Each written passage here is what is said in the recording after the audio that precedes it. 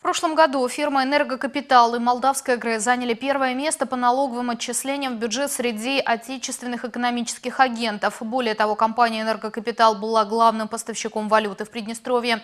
В этом году цена на поставку электроэнергии в Молдову снизилась на треть. Соответственно, сократились и налоговые отчисления и поступления валюты. В этих условиях «Энергокапитал» стал объектом критики со стороны негосударственных СМИ и отдельных депутатов Верховного Совета. Ситуацию нам прокомментировал прокомментировал директор компании.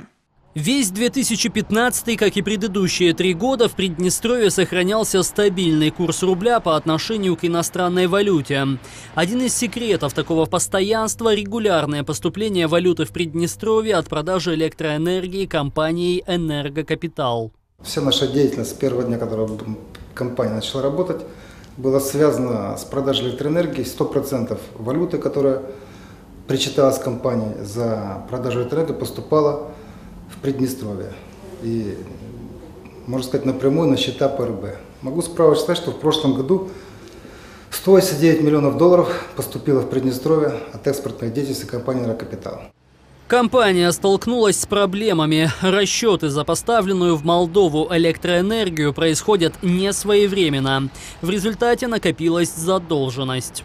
На сегодня есть долг перед нами в размере 12,5 миллионов долларов, которые нам должны поставщики Молдовы. За первый квартал уже 40 миллионов долларов мы, в общем-то, валютных, в виде валюты долларов поступило в ПРБ.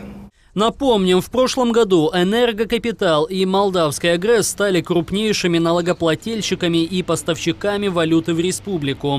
В пользу такого тандема говорят и другие факты. За прошлый год и Молдавская РЭС получила впервые самую большую прибыль за все годы работы в Приднестровье. Вот именно 2015 год принес Молдове самую большую прибыль. Даже не те года, когда она поставляла электроэнергию на Молдову, и то было меньше прибыли. А вот именно год, когда они работали по такой схеме, они получили самую, это все подтверждается, данные финансовой отчетности не открыты. По новому контракту стоимость экспортируемой в Молдову электроэнергии снизилась почти на треть. Падение цены обусловлено активным участием в тендере двух украинских компаний. Соглашение будет действовать до 31 марта 2017 года. Андрей Малеванный, Павел Бажонко, Первый Приднестровский телеканал.